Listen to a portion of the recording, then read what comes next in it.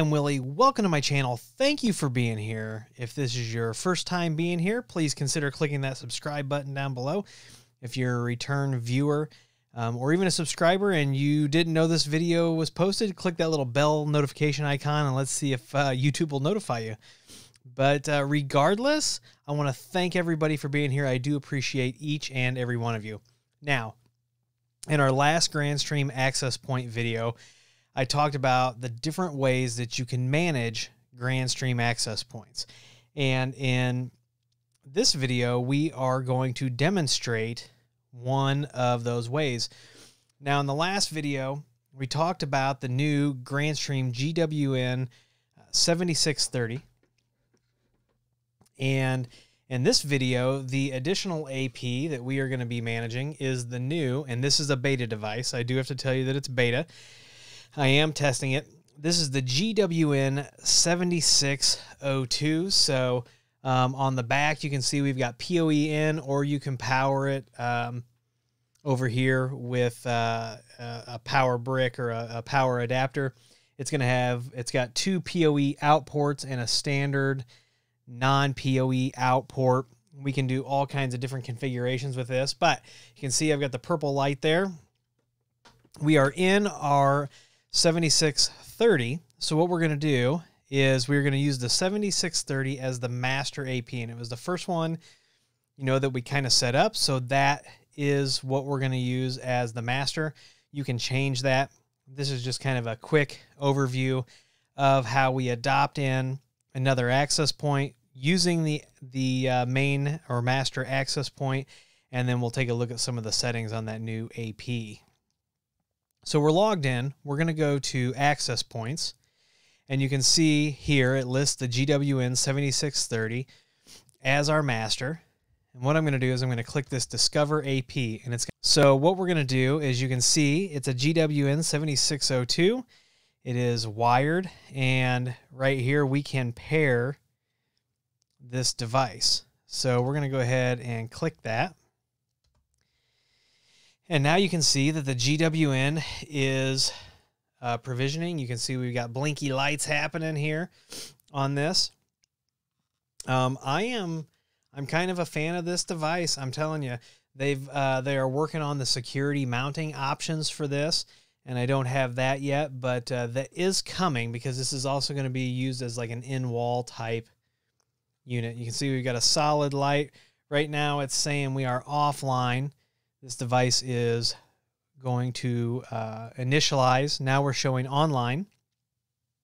So now uh, what's going to happen is it's going to, you know, provision, you know, the settings over to this device. But we can open this up. We can go to edit. We can delete the paired device. We can locate the device. So if we do a locate um, on this, if I click locate, you can see how quick the LED uh, starts flashing.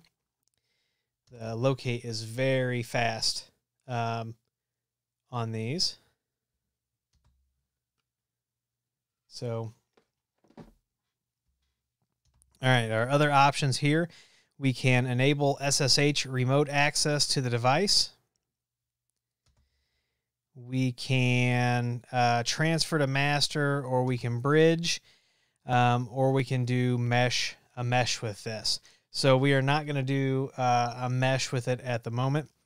We're going to go ahead and edit this and take a look at some of the configuration. So here on the status, pa status page, you can see that the client bridge is disabled. Link speed is 100 megs full duplex. There are no clients. Here is our uh, configuration. Here we can change the device name. We can put a uh, static IP, can enable that airtime fairness. Band steering, client steering. You can see that client steering is in beta. So come down to our 2.4 gigahertz and you're going to see most of the same options that you uh, are used to seeing with these APs or, or mini APs. We've got our 5 gigahertz there. And there is no wireless uplink. There is no mesh here. We can add this to the SSIDs. So what we can do is we can come over here to SSIDs and we can add an SSID and we'll call this, uh, I don't want to call it FBI van, we'll call this a GWN APs. We'll enable this. We're not going to put any VLAN on it at the moment. We're not going to put any client limits on it or anything else. There's more videos to come where we're going to go over a lot of this stuff. So uh, we're going to leave a lot of this default, and this is going to be let me in. Um, let me in now. So you can see that. Like I said, for now, we're just going to leave all of that uh, blank, but we are going to add both of these APs, and we'll go ahead and save that and apply. Services will restart here. Applied successfully.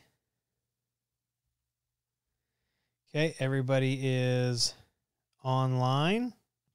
And so we're going to come over here.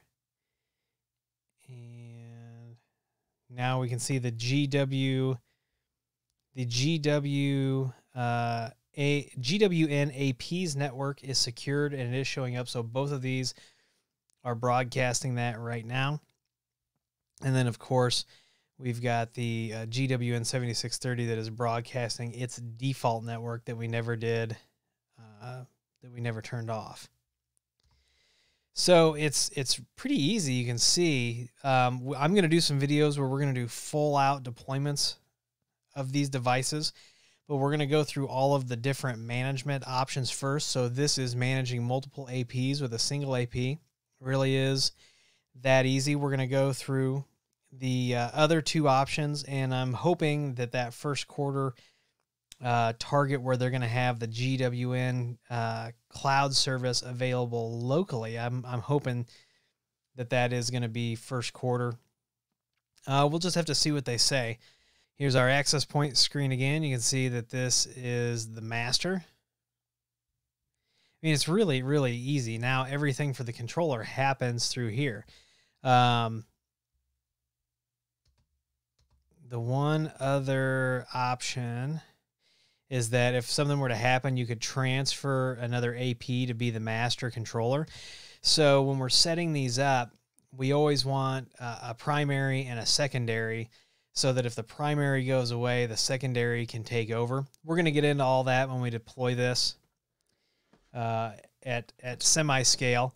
Um, we'll use all of the APs that I have to do this and, and look at that configuration. Like I said, this you saw how easy it was. I plugged the access point in. The GWN 7630 saw it on the network.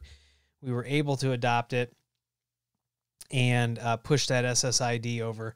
So um, as soon as we get a little bit closer to the launch of this Grandstream beta device and they've got a different firmware and things like that, I'm going to do a more of an in-depth video. If you're interested in this and you want an in-depth video now, I'm allowed to do that because it's Grandstream, and as long as I tell you that's a beta device, they allow me to do that.